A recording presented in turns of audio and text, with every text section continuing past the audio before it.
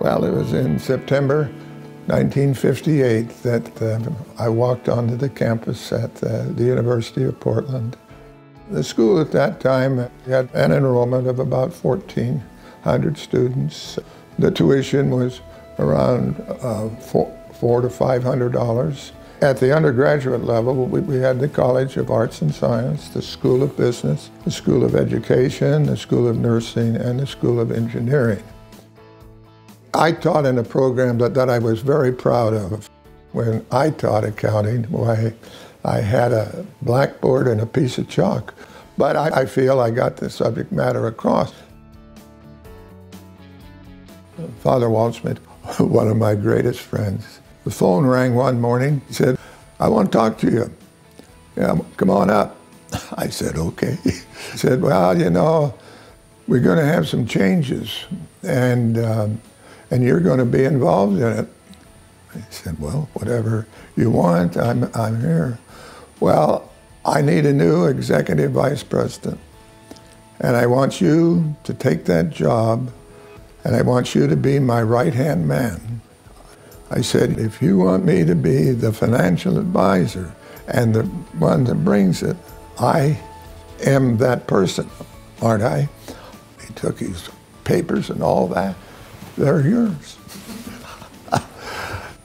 what we faced at that time was the most serious and difficult financial operation and future of the university. Million dollar deficit, 600,000 we'd lost.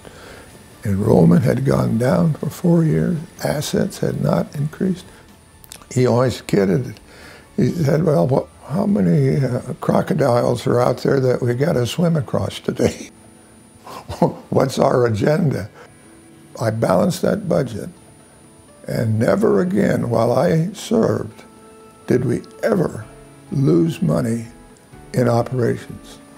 In three years, we had not only balanced the budget, but we had eliminated the $1 million operating deficit. Was, there was no longer any burden like that on the institution.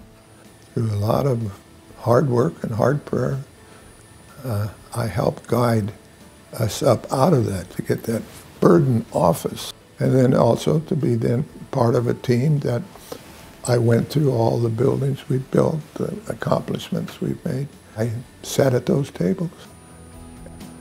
I'm not involved day to day in the, the, programs of the Pamplin School of Business today, but it's tremendous opportunities.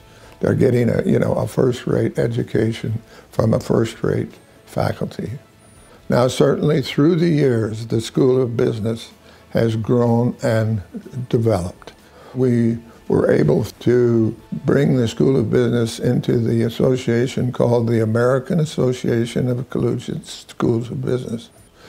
And of course, uh, the, the building where we, we have the School of Business today in, in Franz Hall, I mean, with all the uh, equipment for, you know, the computer, we're very fortunate in finding some very important donors.